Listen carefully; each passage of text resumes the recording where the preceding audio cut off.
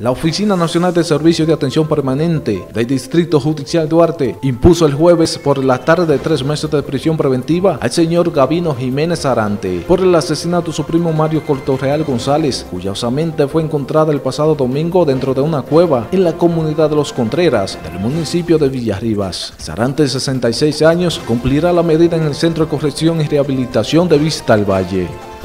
Yo, mire, yo, yo no me gusta hablar mentiras, yo no me gusta hablar mentiras.